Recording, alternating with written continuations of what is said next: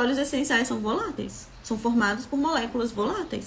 São formados por moléculas que vão sair do lugar onde elas estão e chegar no nosso nariz. Ah, Patrícia, é por isso que as flores que têm aroma, que têm perfume, a gente consegue sentir o cheiro, às vezes a longa distância? Exatamente, porque são moléculas que, no caso das plantas, elas escolhem o momento que elas vão liberar o aroma. Ou então, elas têm algum processo mecânico que faz elas liberarem o aroma. Por exemplo, os que ficam guardados em bolsinhas, se você passa na, na folha, né, por exemplo, no tronco, se você passa e aquela, aquela folha, aquele tronco, ele tem uma avaria, rompe aquela bolsinha e como são moléculas voláteis, daí a pouco você sente o cheiro. E são muito voláteis, né? Porque algumas basta que a gente passe perto. Então, algumas são mais fáceis, né, de abrir mecanicamente e outras são mais resistentes. Mas por que, que a gente sente o cheiro? Porque elas são voláteis. E elas são voláteis e chegaram aqui no nosso nariz. Uma boa parte delas se espalhou por aí também.